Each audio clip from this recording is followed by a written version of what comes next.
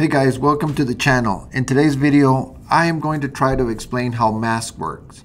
Uh, and I'm not talking about these types of masks, uh, but the actual drilling a hole through this shape uh, and this serves as a mask to this shape um, type of a deal where you have to mask out a certain object that type of mask in the layers in grease pencil so let's go ahead and get started guys. Let me just briefly explain how these things work. I'm gonna create a new grease pencil object 2d animation don't save zoom out and I am going to um, get rid of this stroke. I'm just going to delete it and create an, a new one. Grease pencil blank because I'd like to create um, a couple of materials here in the materials tab new. I'm going to create a, a red material. I'm just call it, I'm just calling it red. And another new one. And I'll make this one blue.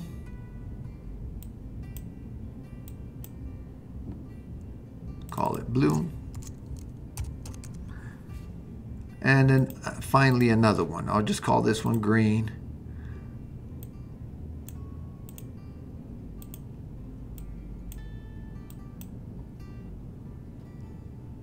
call it green all right uh, now that I've got my materials I'd like to create uh, some layers so let's create a new layer this layer is going to be my circle. Create a new layer. This one's going to be my box, a square, and then create a new layer, and this will be my mask. And so in this circle, let's go ahead and draw a circle. Let's make it red. Create a circle that is red, return. Um, and in the box, let's create a blue box. I want them overlapping so you can see what's going on. Return. There we go. We've got a shape. Now in the mask layer, this is the mask object, the object that's going to mask uh, the stuff underneath. So I'm going to create an oval and I'm going to paint it green and I'm I, and I want it to um, cover both both these objects, the circle and the box. And I painted it green just so you could see the difference. Okay, awesome. Every program has its own has its own way of dealing with mask. Um, I'm used to doing mask in Photoshop, doing a clipping mask in Adobe Illustrator and doing masks in Adobe Animate. So I, I had a little bit of a hard time grasping the mask concept here in Blender, but once you get it, it's really, really easy and it's powerful. So check this out. What you want to do is select the layer that will be masked. So this layer, we're going to activate the mask. So that doesn't mean that this is the mask layer. This is the, the layer that, that is going to be masked. So I want my, my box to be masked by this oval. And so by activating the mask, here it is, it activates the mask option. And so there's nothing here because we haven't, we haven't told it what layer the mask is. So here we're going to hit the plus and we're going to select the mask layer. Boom. And something happened. It seems like the square went away and the mask is still visible. And, and, and I'm wondering like, well, what happens is the box is still there and it's being masked by this layer. All we have to do is select the mask and crank down its opacity. Boom. And now we see the effects of the mask without seeing the physical mask. So now the box is being masked by the mask layer. That is awesome. And we could also reverse it. Let's say I want to see this part and this part, but not the inside. So we go to the boxed, I mean the box mask layer, and then here we've got the little um, invert. Boom, and now the mask is inverted. Very, very cool.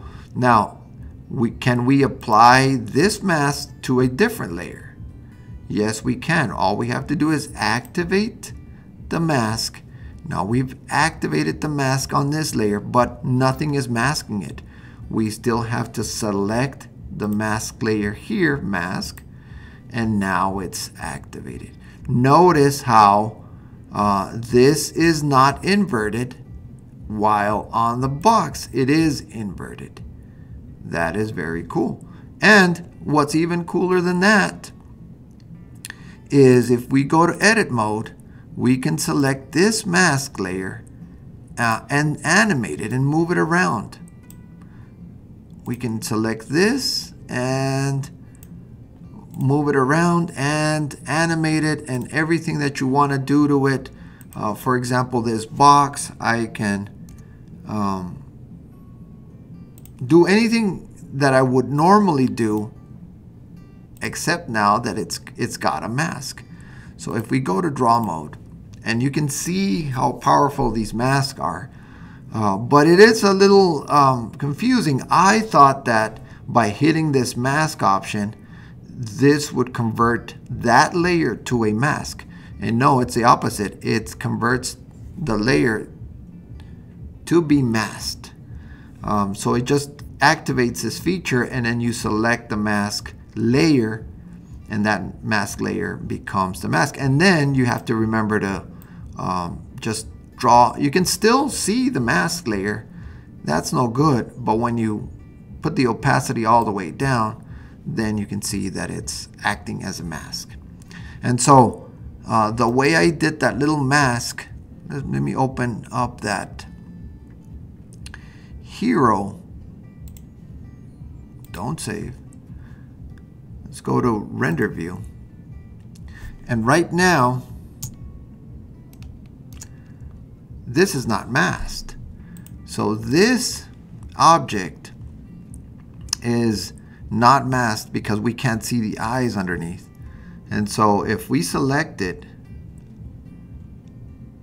and I'm sure it's this one, stroke, Let's go to object mode. There it is. And let's go to edit mode. If we select the lines layer is the actual mask. Let's call it the mask. And then this is the eyes, which will act as the mask.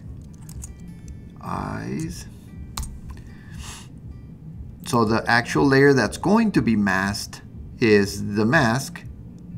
Activate it, open up the feature, select the eyes as the mask, and now we want the opposite, so invert. And then don't forget, we have to crank down the opacity, and there you have it. We've got the eyes. You go into object mode and just deselect it. And, and there you go. That's how you can do, that's how you can work with Mask.